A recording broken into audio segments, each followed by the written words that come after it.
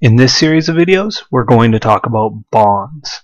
Uh, bonds are often one of the more difficult concepts that we go over in an introductory accounting class. Um, and I just want to define a bond and then I'm going to walk you through an example of issuing a bond at a discount and, and how to work through a problem uh, in that area. So I, I think this Wikipedia definition is reasonable enough. It says in finance, a bond is a debt security in which the authorized issuer owes the holders a debt and depending on the terms of the bond is obliged to pay interest uh, to use and or to repay the principal at a later date uh, termed maturity. A bond is a formal contract to repay borrowed money with interest at fixed intervals, semi-annual, annual, sometimes monthly. So in, in uh, an accounting class, when we're looking at bonds, we're looking at it from the perspective of the issuer. And what happens is we issue bonds to people, and basically they're a piece of paper, and they say, We promise to pay you back money with interest on a certain date. Uh, and generally speaking, because bonds are long term in nature, you can have 10 year, 20 year, 100 year bonds uh, because they're not going to get their money back for 10, 20, 100 years, usually bonds will feature interest uh, paid typically every six months. Typically, there's a reason they listed semi-annual first. That's that's the most common uh, way to be paying back the interest, and and that's the way we're going to do it in our examples. So our examples are all going to be uh, feature semi-annual interest payments. But again, you have to read it, the question carefully to see uh, what kind of interest period you're up against. So anyway, we borrow money. Uh, we give them back a piece of paper, almost like a note payable, saying, I promise to pay you back in 10 years, 20 years, 30 years. Plus, in the meantime, I'm going to pay you interest every six months. Uh, so that's what a bond is from our perspective. So let's jump into a question.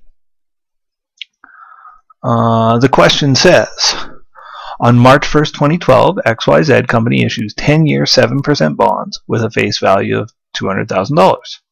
Because the market rate of interest is 8% on the date of issue, the bonds are issued at a discount. Now let's slow down for a second here. We issue bonds and we promise to pay back 7%, uh, but unfortunately, well, not maybe unfortunately, but the, on the date we issue, uh, the market rate of interest is 8%. So we're issuing bonds for 7%. Our bondholders can get other competitively priced securities for 8%. Uh, uh, that's their sort of expected rate of return in the market. Our bonds aren't that attractive. And consequently, no one will buy them unless they're issued at a discount. And so people aren't going to pay us the full $200,000 for our bonds because, again, the interest rate is lower than the market rate of interest. Uh, and it says the bonds are quoted at 93.21. Now, this number is a really key number when we talk about bonds. This is the percentage of what we're asking that we get. So we asked for $200,000. That's the face value of the bonds. We're only going to get 93.21% of the money. So if I go on uh, uh, and look up a couple of bond quotes, let's see, um, Bond Center on Yahoo Finance. Uh, let's find, uh, let's just kind of go quickly and look up a corporate bond. So if I look up, I, the one I, I highlighted here was J.C. Penney. You can see their bond quote right there under the price. They're going to get 94% of the face value of their bond. You can see this Ford Motor gets 102% of the face value of the bond, and you can see the coupons, their interest rate. So interestingly, Ford Motor is offering 7.7% interest, and J.C. Penney a little bit less, and you can see the bonds are fetching a little bit of different amounts. Um, I'll close that up. So in this case, we've asked for 200 grand. We're only going to get 93% of the money. So actually, let's figure out how much that is. Um, so let me just call up my calculator here. Uh, we wanted 200 thousand dollars, but we only got 92, 93.21 percent, so 0.9321. We got $186,420. So why don't we do a journal entry here? I know it hasn't asked us for a journal entry. I'm kind of getting ahead of myself here, but I, I think we can do a journal entry. So I'm actually answering part B before I even go into the question, but why not? So let's ink this, and it's March 1st, 2012. I issued $200,000 worth of bonds. I'm going to have to pay back $200,000, but I didn't get all the money because my, my interest rate is too low. I only got 93.21% of what I asked for, and we just calculated that as $186,420. So in this case, I debit cash for 186,420.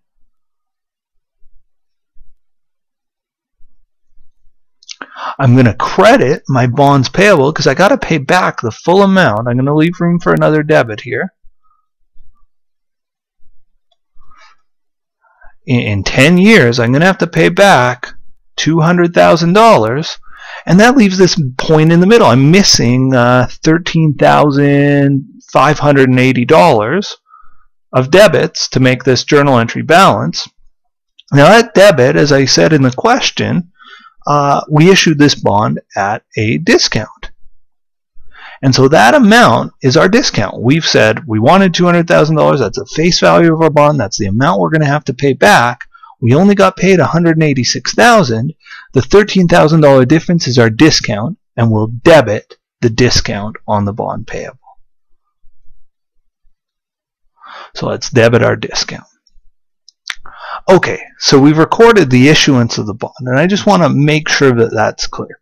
Uh, I'll reread the question. It says, on March 1st, 2012, XYZ Company issues 10-year 7% bonds with a face value of 200 grand. So in 10 years, I'm going to pay back $200,000. Because the market rate of interest is 8% on the date of issue, the bonds are issued at a discount. So again, I want to be clear here. I'm offering 7% customers or investors can get 8% in the market, they're obviously not going to want my bonds. They're not going to want to pay full price for them anyway. So they won't pay full price. Uh, they will buy at a discount. Uh, it gives us the bond quote, and again, in Intro to Accounting, you'll be given the bond quote. If you're doing a corporate finance class, you actually have to learn how to derive those bond quotes, but that's beyond the scope of this video. Um, the bonds pay interest semi-annually, so every six months. That's what semi-annually means. On March 1st and September 1st of each year. The company uses the effective interest method, and I want to be clear about this. Uh, some texts will talk about the straight line method. IFRS and Canadian GAAP uh, strongly, I think they actually make you use the effective interest rate method. They say, you know, you can only use the straight line method if it's not materially different than the uh, effective interest method. But uh, people have moved to this method, and, and that's the one I I'm going to look at. I'm not going to do the straight line method for for bond amortization. So, or for discount amortization. The company's fiscal year end is December 31st. Now we haven't actually read the required. Required A. Prepare an effective interest table for the first four periods of this bond issue. Okay, in my class, I provide my students a table that looks just like this. I imagine if you've done effective interest table or effective interest rate method, you'd see this in any textbook, something that looks like this, and uh, uh, you certainly need to know how to fill one of these in to do the effective interest rate method. So that's going to be our next step. We're going to prepare an effective interest table for this bond. Now, as with all of my videos, right beneath the video, right under under here, uh, there's a link to both the table as well as the question that we're working on. Uh, but let's go ahead and start to fill out our table. Um, because it's semi-annual, the, the key dates are, are every six months. So March 1st, 2012 is our date of issuance. We're going to have September 1st, 2012, that's six months later. March 1st, 2013, six months later, and we'll do one more September 1st, 2013. And this bond would go on for 10 years, so 20 interest periods, because it's every six months. It's a 10 year bond. So I could fill down in Excel another, you know, till the end of time. But uh, we'll just do the first four periods here. Um, the interest payment is our first column we're going to look at. And the interest payment is what we've promised to pay. And if you recall, we promised to pay 7%. But because everything on this table is a, a semi-annual period, we want to divide that 7% by 2. The 7% is an annual interest rate. we promise to pay back 7% per year. And whenever you see an interest rate, it's, it's typically going to be an annualized interest rate.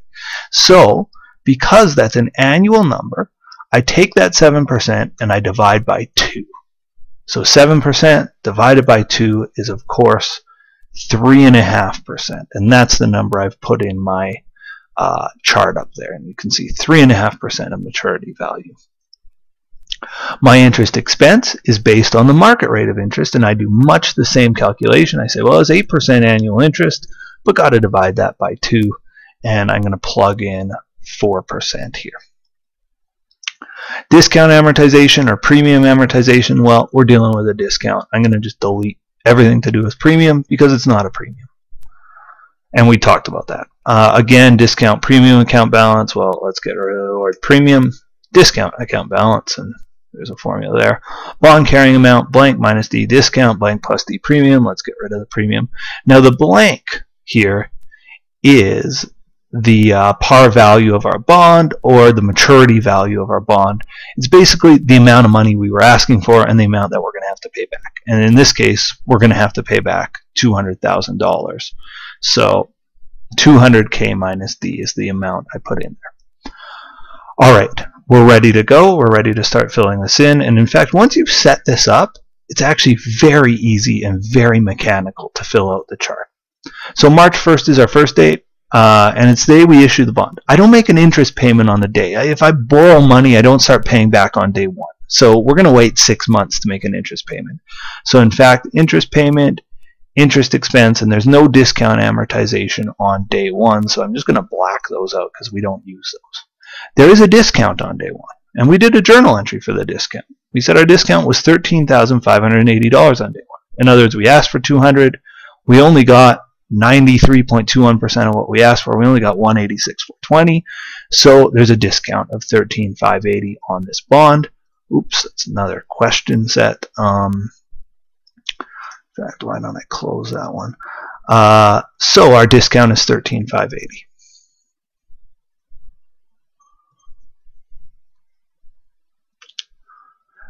Uh, so our bond carrying amount, uh, you can see the formula there, 200,000 minus D well, 200,000, let's just put in a cell, equals 200,000 minus 13,580, 186,420. In fact, the first line there is always going to be the amount of money that we got. I'm going to just uh, reformat these cells. There we are. Let's move on to the next period. Interest payment, 3.5% of maturity value. Okay, so my interest payment is going to be 3.5% times the maturity value, and that's what I have to pay back at the end of the bond, which was $200,000. 3.5% $200,000 is 7000 And this number is going to be 7000 the whole way. My interest payment does not change. Uh, interest expense, 4% of the preceding bond carrying amount. So 4%. The preceding bond carrying amount, I look over my bond carrying amount was 186,420. 4% of 186,420 Oops, I wanted there to be no decimals. Uh, let's get rid of the decimals. There we are. 7457. Uh, and again, my interest expense, 4% times 186,420 to get that number. Uh, discount amortization, B minus A. 7457 minus 7000 is $457. And basically here, if you get a negative number, you've done something wrong. And a lot of times on tests or on you know worksheets, students will get a negative number. It means they maybe they had a premium and they didn't realize it. They, they screwed something up. You can't get a negative number here. Discount balance, D minus C, 13,580 minus 457 is 13,123. Bond carrying amount 200,000 minus the uh, common mistake here is to go 186 minus 13. No, no, no. Read the read the formula there. 200,000 minus the so I'm going to 200,000 minus 13,123 is 186 877. I'm going to rinse, wash, and repeat here. I'm going to do the exact same process in the next row. Interest payment 3.5% of maturity value. So I'm going to take equals 3.5% times 200,000. Still 7,000. And in fact, that's going to be 7,000 till the end of time. Interest expense, 4% of the preceding bond carrying amount. So here I go 4% times the bond carrying amount, and the preceding one was 186,877. I don't go back to the top, I just take the one from immediately before. Again, with the decimals, I don't know why. 7475. So I take 7475 minus the 7000. This time my discount amortization is 475. My discount account balance, and whether I have a discount or premium here, I expect this number to get smaller every time. D minus C, I take 13,123 minus 475, 12,648. This number needs to get smaller every time. Bond carrying amount, whether I have a discount or premium, I expect it to get closer to my maturity value. And the idea here is in 10 years, in 20 interest periods, it should be just about bang on 200,000. It should just about hit the nail on the head. So 180, uh, sorry, I almost did that wrong. 200,000 minus D, 200,000 minus 12,648 is 187,352. I'll walk you through the computations one last time here. Again, 200,000 times 3.5% is 7,000, and that number is going to be the same until the end of my bond. Um, 4% of the preceding bond carrying amount, 4% times 187,352. Uh, discount amortization, again, this the decimals, that's so weird. Uh, 494, 7494 minus 7,000 is 494. Discount account balance, 12648 minus 494. And last, uh, my bond carrying amount is 200,000 minus 12154. Now what you'd find is if you drag this down for 10 years, that's 20 periods, this number will get closer and closer to 200,000. At the end of the 20th period, if, if it's been kind of calculated correctly or prepared correctly, you should be bang on 200,000. The reason is when you pay back, you don't pay back a discount. You have to pay back the full amount. So our discount is getting whittled down to nothing.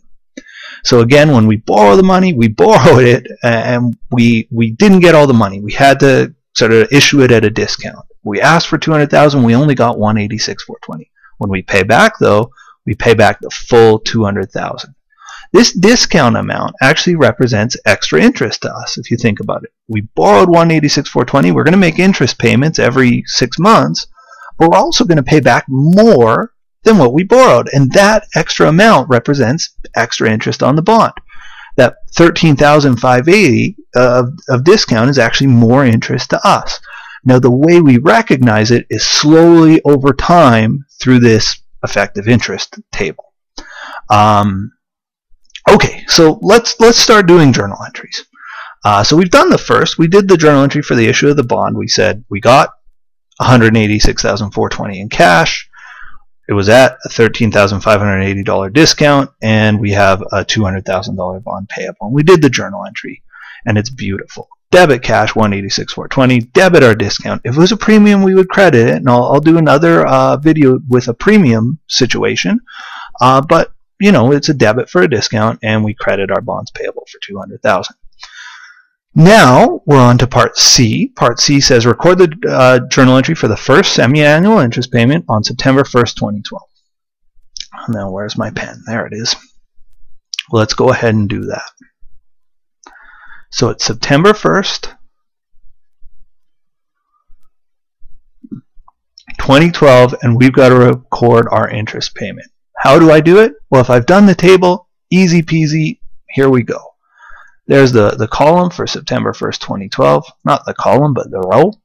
Uh, and we make a payment of $7,000. Well, when I make a payment, credit cash. Let's do that. Credit cash, 7,000 bucks.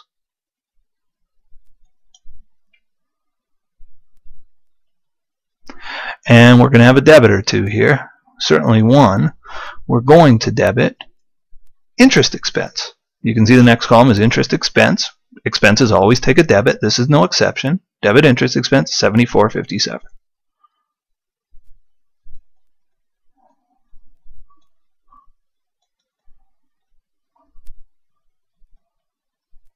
Now, if you're noticing this doesn't balance yet, we're missing a credit of 457. And what could that credit be? Well, next line over.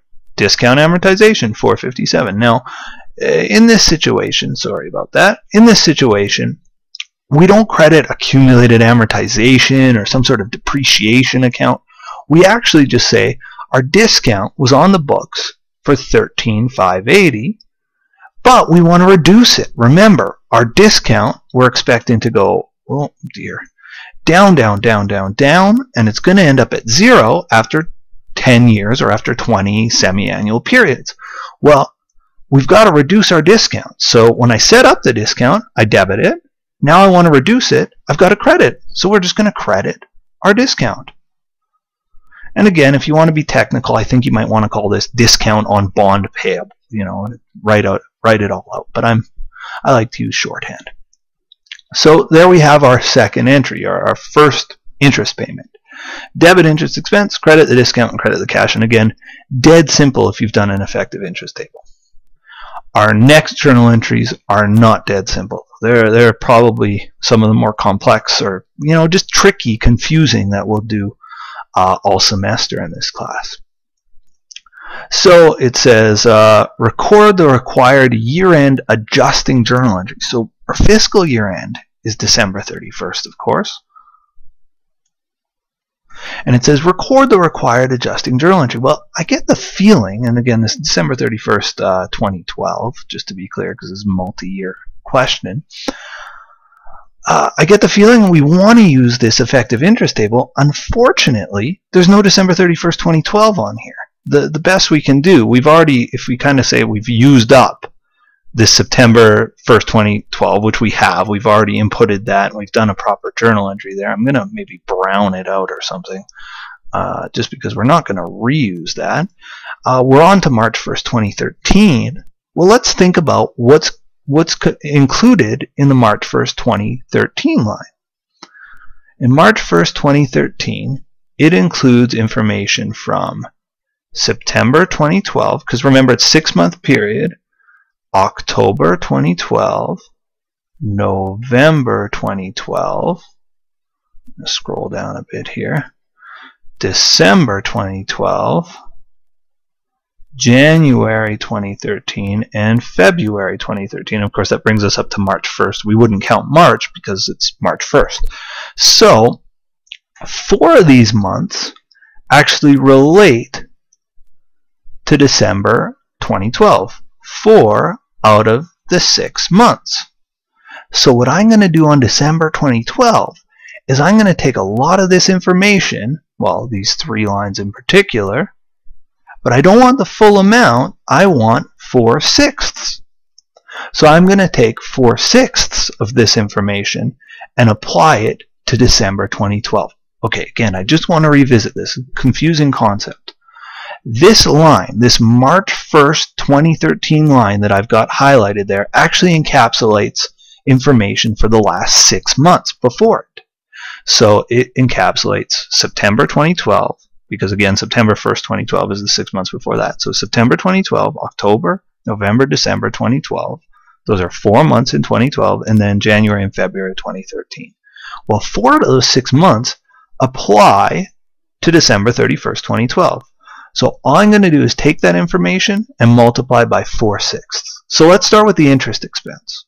I'm going to debit interest expense.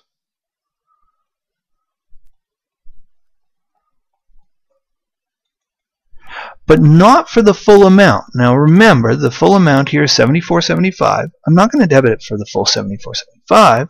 I'm going to debit it for 74.75 times 4 sixths. And just quickly using the calculator here, 74.75 times 4 divided by 6 is 49.83. And I'll just round to the dollar here. 49.83 is my interest expense. Now the next one will be just like the entry above to credit the discount because we're always amortizing that discount and we're going to credit our discount for 475 but not the full amount, 4 months of it, 4 sixths. So 475 times 4 out of 6. Sorry about my writing there, but hopefully you've heard me say it. 475 times 4 divided by 6, 31, or 317. Um, okay, so 317. And last, I want to credit, well, I credited cash before, But of course, it's December 31st. We don't pay cash until March 1st, right? Going back to the question, we pay cash every six months, and it says every March 1st and September 1st we want to pay cash. Well, we're not paying cash today then. So if I'm not paying cash, but I owe them some interest, this then logically represents interest payable. And the math here is going to be, well, I was going to pay them 7000 but no, 4 sixths of 7000 was what I owe them. So 7,000 times 4 sixths and 7,000 times 4 divided by 6 is 4667 or I, am going to actually round the wrong way here to make my journal entry work. I'm going to say 4666. I hope you can see that the reason that I would have been off a dollar is just on rounding stuff. Um, so I'll, I'll, say 4666. It's not the end of the world to be off a dollar. Um, okay, so debit interest expense, credit or discount, credit or interest payable by 4666. Uh, that's the entry. Now again, this is a very tricky entry and, and it might be worth rewinding and revisiting and reviewing. It, it's where we have a, an interest payment or a fiscal year end falling between interest periods. And it happens all the time. It's, it's a bit of a pain in an accounting question, but we've dealt with it appropriately. Okay, one more set of journal entries. Uh, we're going to do journal entries for uh, the March 1st, 2013 payment let me just see if I can get a little more space. I'm going to tell this that we are doing uh, ledger paper. Nice. Look at all the space I just bought us. We're coming up against the page, page break there. Ooh. Well, now the question's stretched over. Anyway, let's do the March 1st, 2013 payment. Worry about that in a minute. Um, okay, so home. Oh no, I want pens. There we go. March 1st, 2013. Now on March 1st, 2013, I'm still dealing with this highlighted row, but I'm not dealing with the 4 sixths. I've already dealt with that on December 31st, 2012. I'm dealing with the last two months. I'm dealing with January and February. I'm dealing with 2 sixths. So now I do a very similar journal entry to the one I did last time, except it's still the March 1st line that I'm looking at. I'm just going to take 2 sixths of that information. So, for example, my interest expense is not 74.75. It's going to be 2 sixths of 74.75. So, debit interest expense uh, 76.75 times 2 sixths. And let's quickly, oh, not 76.75. Sorry, I misread the number there. 74.75. Let me just fix that real quick. 74 75 times 2 sixths is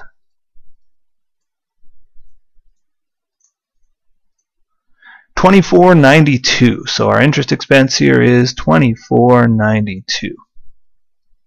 So far, so good. We're going to do our discount amortization. I'm going to leave room for a debit because I know another debit's coming, but I, am going to do my discount amortization. I'll credit my discount and the amount was 475 times 2 out of 6. So, oh, almost dropped my mouse there. 475 times 2 sixths is 158. So let's fill in 158 there. Um, now the tricky part, and it's not even really that tricky. Going back to my effective interest rate table, it says I'm supposed to make $7,000 payments every March 1st, every September 1st. Well, on March 1st, I'm going to make a $7,000 payment. I'm not going to actually, you know, pay two-sixths of it, as I've been doing a lot of two-sixths here. I'm not going to pay two-sixths of it. I got to pay seven grand. I got to pay the full meal deal. So let's credit cash for the full $7,000 that I got to pay. And again, we're looking at this and saying to ourselves, well, wait, this journal entry does not balance. Well, why doesn't it balance? Well, anytime I make a payment, if I had a payable, if I had a liability, I got to get rid of the liability. I got to get rid of this interest payable. So we set up an interest payable. Now we're paying it off. Let's get rid of our interest payable, which was 4666. And what you find is when you do that, your debits equal your credits. You have yourself a good journal entry.